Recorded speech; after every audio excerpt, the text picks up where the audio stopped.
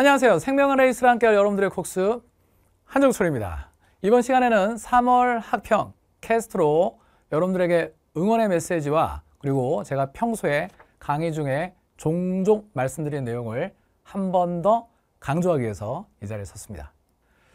일단 3월 학평이라고 하는 첫 번째 시험 의미가 있죠. 특히 고3 수험생들은 첫 번째 시험이 쉽다라고 하지만 상당히 긴장감 있는 순간으로 기억을 합니다. 그리고 이런 얘기도 있잖아요. 첫 번째 모의고사 성적이 수능 성적을 좌우한다. 믿거나 말거나. 제가 이번 시간에 준비한 내용은 평소에 종종 즐겨 읽는 글귀를 준비해 봤습니다. 저도 예전에 여러 가지 복잡하고 힘들고 또는 강사의 생활하면서 체력적으로 많이 슬럼프를 겪었던 적이 있어요. 그럴 때 우연히 이 글귀를 읽고 아 정말 그런 것 같다. 피부에 와닿고 공감되는 내용이 있어서 체력 관리를 꾸준히 했었던 기억이 있어요. 그러니까 지금은 강의를 하는데 좀 더 여러분들 앞에서 밝은 모습으로 열정적인 모습으로 강의를 하는데 매우 중요하다는 것을 뼈저리게 느끼고 있습니다. 그래서 제가 이제 평소에 농담 반 진담 반으로 강의 중에도 체력 관리 얘기 많이 하죠. 제가 준비한 글귀를 읽어 드리면서 3월학평 캐스트 시작하도록 하겠습니다. PD 준비되셨나요? 오케이. 제목은 네가 이루고 싶은 게 있다면 반말한 거 아니에요. 어, 제목이 원래 이런 거예요. 네가 이루고 싶은 것이 있다면 네가 이루고 싶은 게 있다면 체력을 먼저 길러라. 네가 종종 후반에 무너지는 이유. 데미지를 입은 후에 회복이 느린 이유. 실수한 후 복구가 느린 이유. 다 체력의 한계 때문이라는 거. 체력이 약하면 빨리 편안함을 찾게 되고 그러면 인내심이 떨어지고 그 피로감을 견디지 못하면 승부 따위는 상관없는 지경에 이르지. 이기고 싶다면 내 고민을 충분히 견뎌줄 몸을 먼저 만들어 정신력은 체력의 보없이는 고밖에 안 돼.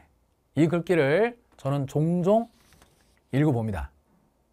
실제 우리 수험생 분들이 모의고사를 볼 때마다 이런 고민이나 또는 이런 의무를 갖고 저한테 찾아와서 또는 인터넷상에서는 댓글로 질문합니다. 선생님, 저는 겨울방학 동안 열심히 노력했습니다. 선생님 매일매일 꾸준히 하라고 해서 격일로, 기본, 킬러 꾸준히 하라고 해서 꾸준히 했습니다. 그리고 긍정적인 마인드로 해왔는데 결과가 이래요. 뭐가 문제인 거죠? 왜 그런 거죠? 저도 얼마 살지 않아서 잘 모릅니다. 실제 우리가 살아가는 과정 중에 결과라고 하는 것은 꼭 노력에 비례해서 좋은 결과가 나오는 건 아닌 것 같아요. 이 결과는 여러 가지 변수에 의해서 이루어지는 복합적인 현상이기 때문에 내가 열심히 노력하고 꾸준히 했고 긍정적인 마인드를 가졌는데도 불구하고 결과가 안 좋을 수도 있는 거예요. 그걸 누굴 탓하거나 또 나 자신의 어떤 원인이 있을 거라고 무조건 자기를 괴롭히지는 맙시다. 근데 이러한 것을 이루었음에도 불구하고 그럼에도 불구하고 내가 만족스럽지 않은 결과를 얻었다면 한 번쯤은 노력, 꾸준함, 긍정적인 마인드를 담을 단단한 체력이 내가 부족한 건 아닐까?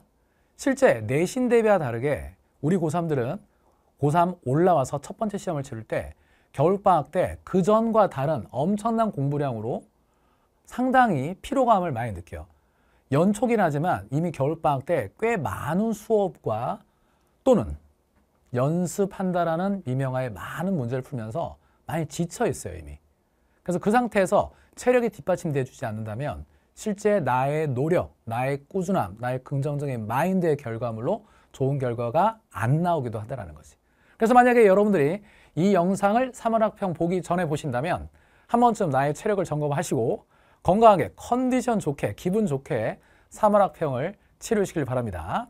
그리고 이 체력 관리라고 하는 것은 사실 이 심리적인 요인에 영향을 되게 많이 주는 것 같아.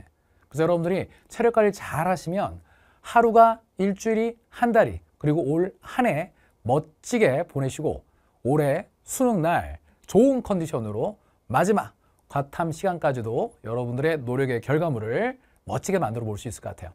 노력, 꾸준함, 긍정적인 태도, 체력 관리 잘 해주시고 끊임없는 반복으로 3월 학평 만점, 올해 수능도 만점 받으시길 바랍니다. 수능 대박 화이팅!